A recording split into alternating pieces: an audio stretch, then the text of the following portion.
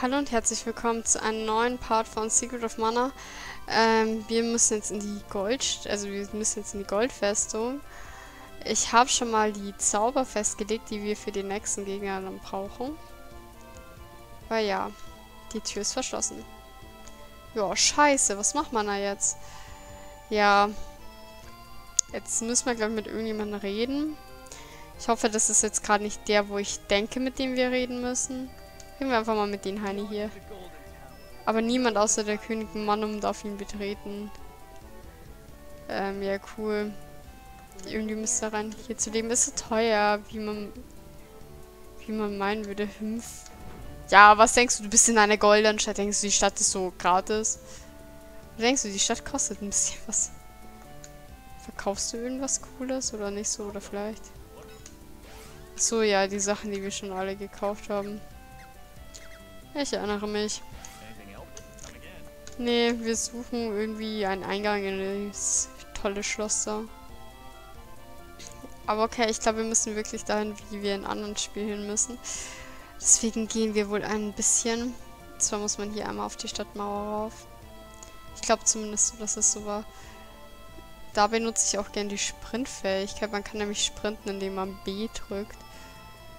Und ich finde die hier sehr sinnvoll. Man sieht halt, Sockes Leistung geht da unten runter, aber das interessiert mich eigentlich wenig. Also weil man hier halt echt wie verrückt sprinten muss und das ist halt echt asozial. Der Turm an der Randstadt war ein Tempel des Lichts bekannt, zumindest bis König Manum ihn verschlossen und versiegelt hat. Der Schlüssel zum Turm wurde von einem Spion aus Tasnika gestohlen. Keine Sorge, er wurde gefasst, bevor er die Südstadt verlassen konnte. Den Schlüssel hat man nie mehr gefunden. Ich wüsste nur zu gern, was sich in diesem Turm befindet. Ja, das wüsste ich auch gern. Und Spion, den man gefasst hat und umgebracht hat. Ich glaube, wir müssen eine Runde nach Südstadt.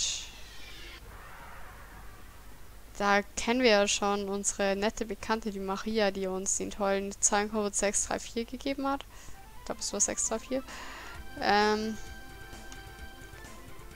Suchen wir mal ist das Ich bin halt schlecht in Orten finden. Also es hat man aber schon öfter beim Imperium Südstadt. Ja, da war man Südstadt.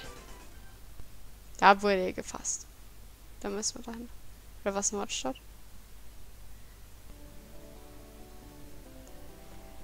Ähm, ja. Ich glaube, wir müssen noch hier oben. Nein, hier ist eine Stadtmauer mal wieder haben wir gleich das Haus der Maria ist. Ich hoffe, die wohnt da noch. Die Truppen des Imperiums haben einen Mann dabei erwischt, wie er den Geheimschlüssel von der Goldinsel entwendet hat. Hier ist er. Ich bewahre ihn seither in dieser Kiste auf als Andenken an ihn. Mein Mann hat sein Leben für diesen Schlüssel gegeben. Sein Opfer soll nicht umsonst gewesen sein. Hier, ich überlasse ihn euch. Lasst das Imperium damit nicht davon kommen. Schlüssel für den goldenen Turm erhalten. So easy war das. Hab man mal wieder die Maria getroffen. Der ist so scheißegal, dass wir das Imperium eigentlich da schon besiegt haben. So, ach, ihr habt es geschafft. Ja, hier, ich habe noch einen Schlüssel. Was könnt ihr denn damit anfangen?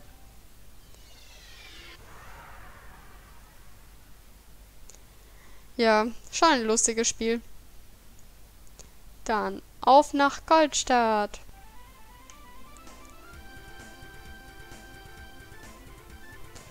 Da diese Scheiße? Also war das richtig hier? Goldene Turm. Da will ich hin. Zum goldenen Turm. Ladevorgang. Wird bestimmt lustig. So, wir stehen genau vor dem Turm. Leute, wir gehen rein. Ich als kluge Socke nehme eine andere Waffe. So, ja. Ihr könnt die ruhig besiegen. Ich öffne mal die Schatztruhe. Und was ist da drin? Ein Lanzenorb. Diese Frostköter sind auch neu. Das sind nämlich Zombie-Wölfe. Ich glaube, die hießen auch im echt Zombie-Köter, glaube ich. Oder Zombie hatten die auf jeden Fall einen Namen. Die können auch Wolf geheißen haben, aber da bin ich mir jetzt gerade nicht so sicher.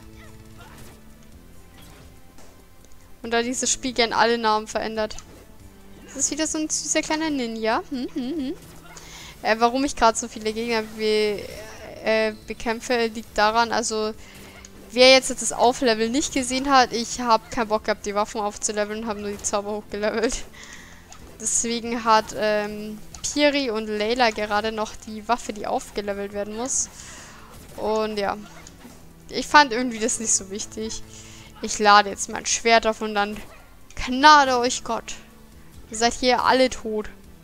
Wenn mein Schwert einmal nur aufgeladen ist, weil die anderen zwei Deppen kriegen ja nichts auf die Reihe. Der sollte tot sein. Aber auch nur so ein bisschen.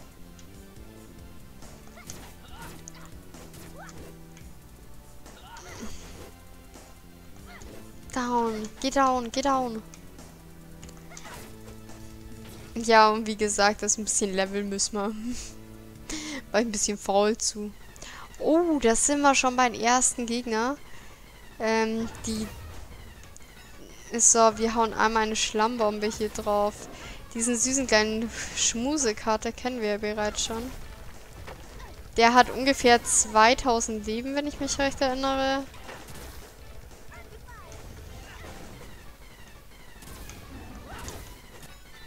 Und ja, ich hau einfach eine Schlammbombe nach der nächsten drauf. So, der landet dann, glaube ich, auch ganz gern. Genau, der verliert dann seinen Kopf. Ich glaube, wenn er die Hälfte hat, verliert er seinen Kopf. Und ich habe mich immer so gefreut, yay, yeah, er ist down, ich habe keine Magiepunkte mehr. Aber nein, er lebt dann einfach weiter und hat seinen Kopf zurück. Oder im Original hat einfach einen abgetrennten Kopf. Und ich dachte, das erste wäre ein Bug von Spiel, aber war es nicht. Und es war schon sehr creepy.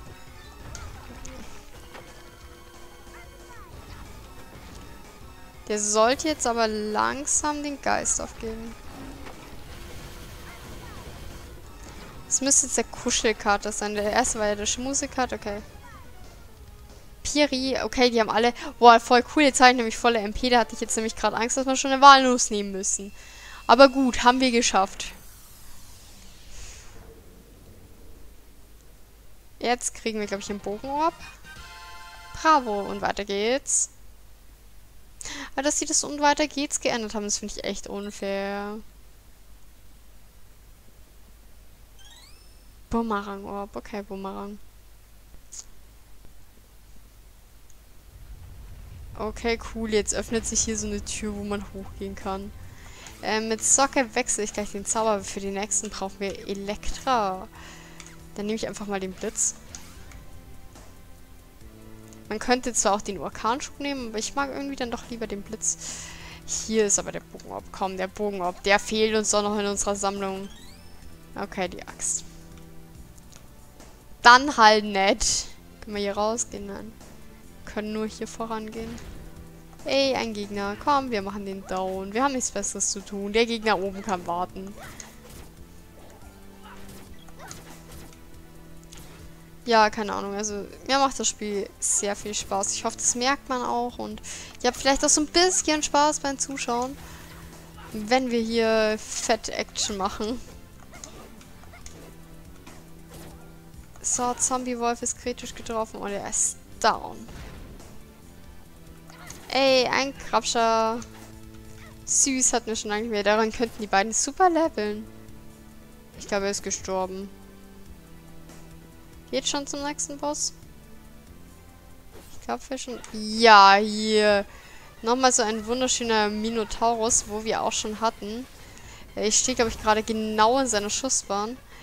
600 Schaden macht ihn das. Also das ist nicht schlecht. Der hat nämlich, glaube ich, auch nur so ungefähr 2000 Leben. Also ich mache einfach auf den jetzt halt noch einen und dann ist er down. Ja, kommt, ihr könnt auch ein bisschen angreifen. Nicht nur mal hier machen lassen, sondern auch mal selber was machen. Jetzt kriege ich auch meinen Bogen ab. Und weiter geht's. Und weiter geht's. Bogenorb, komm. Es ist der Bogenorb. Ich glaube, wir haben noch gar kein Schwertorb. Den. Ich habe immer Angst, meine Orbs liegen zu lassen. Bogenorb. Die asozialste Waffe der asozialen Waffen. Okay, ich beende dann einfach mal an dieser Folge die, an dieser Stelle die Folge. Nicht, ja, so rum. An dieser Stelle beende ich mal die Folge und wir sehen uns dann das nächste Mal, wenn uns der neueste Geist erwartet und es weitergeht bei Secret of Mana. Bis dahin, tschüss.